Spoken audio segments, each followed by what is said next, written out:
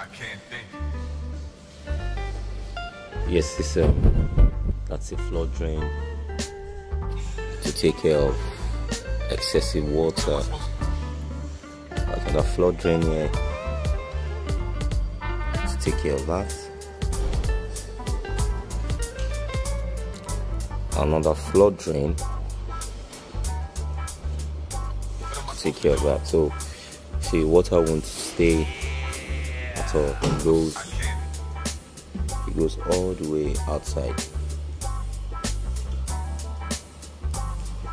Yeah, and I still remain your favorite project engineer today.